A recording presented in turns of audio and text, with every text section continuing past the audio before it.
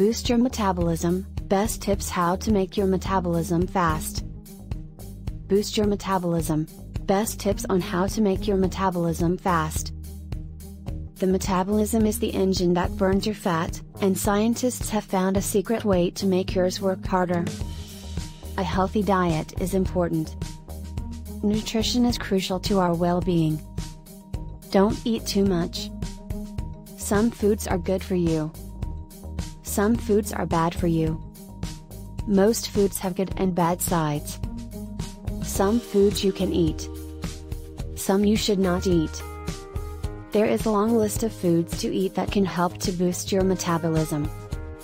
These include lean proteins, healthy fats, whole grains, and plenty of fruits and vegetables. It is also important to avoid processed foods, sugary drinks, and excessive amounts of alcohol. In addition to eating the right foods, there are also some at home exercises that can help to increase your metabolism. Processed and canned foods are the kind of food to avoid. They include highly processed ingredients like artificial dyes, sweeteners, preservatives, emulsifiers, thickeners, stabilizers, and flavors. On the other hand, fresh vegetables and fruits are the best foods to eat. They are rich in nutrients that the body needs. When choosing between the two, fresh is always better. There is always an at home exercise when you cannot go to a gym.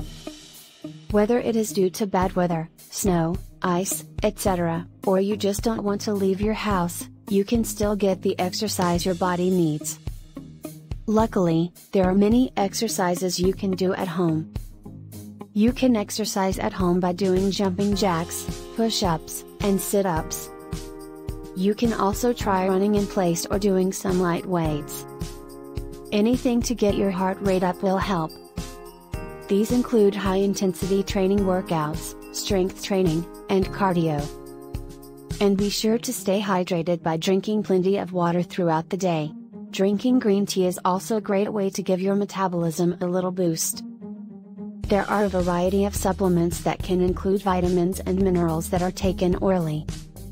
They are used to improve health, increase energy, or treat or prevent disease.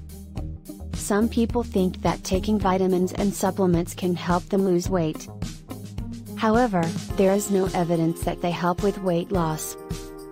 Some supplements are given by prescription, and others are taken without a prescription.